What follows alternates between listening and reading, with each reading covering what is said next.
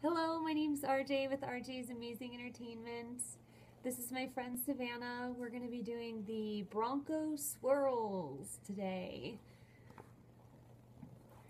Okay. Bronco Swirls is a fun design that a lot of people request at the Broncos games. If any of you are familiar with Colorado Broncos fans, you'd know that many of them are fanatics. So what we're going to do is we're going to start with orange. I'm using a fab orange and a number five round. And what I'm doing is just making some fun, unique swirl designs on her face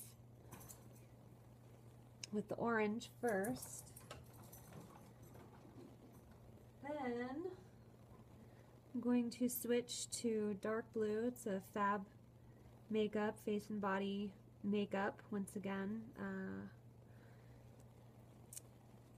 and I'm going to be using a number two round. And I'm just going to go with this one around the existing design to create more fullness.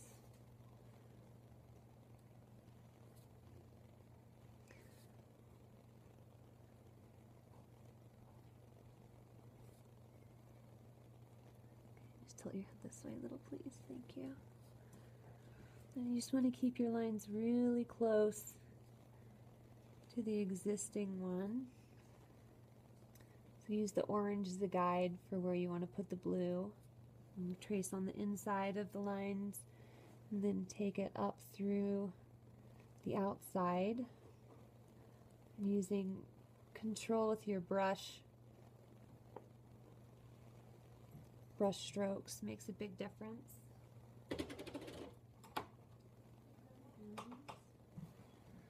Then we're going to switch to Wolfe White. Okay, just like this a little, please. Thank you. And with the white, come in and do some highlights.